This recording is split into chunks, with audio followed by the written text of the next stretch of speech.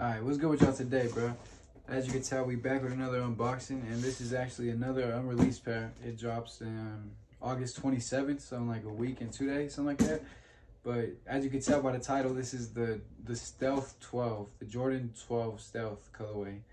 And yeah, let's just jump right into it, bro. Box.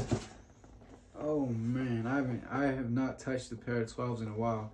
I had the, the 12 Masters a long time ago, but my dog had ate them up for real, like chewed them up. But yeah, this box is so fire. Obviously, it says everything it's gonna say. And yeah, let's take a look at this shoe. Oh, okay, bro. So, all right. First look at the shoe. There it is, bro. The Stealth 12s. You could basically call these the you could basically you could basically call these the cool gray 12s because that gray right there is the cool gray. Cool gray. cool gray gray. That is that that color, you feel what I'm saying? But yeah, bro. The shoe is fresh. It's simple, bro. The colors in this shoe is so far You got the tumbled leather and cool gray with obviously the stitched stitched lines all throughout the 12. And then the lizard overlay. Solid white Got the bottom solid white, carbon fiber at the bottom. Let's give y'all that 360 look. Oh man, this shoe is so fire. If y'all haven't copped this, I suggest you go cop this shoe ASAP because it's gonna be a hit. I feel like I feel it, bro. It's gonna be a hit.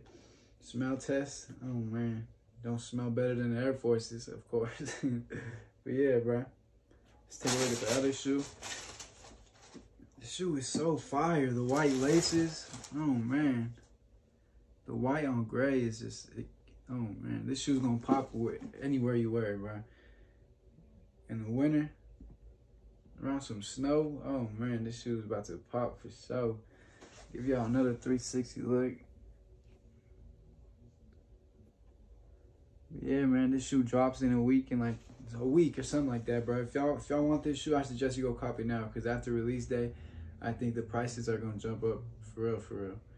I got these off Goat, obviously. That's where I've been getting these early these early shoes. This is the one the the two next videos that I'm about to upload are the only pairs of shoes that are not gonna be in the collection because my boy was nice enough to let let us unbox these.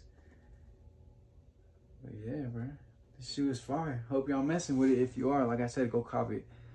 Goat, StockX, wouldn't prefer Stock StockX after everything that happened, but who knows if Goat doing the same thing, to be honest. oh, yeah, so, uh, but nah, bro, this shoe is fire.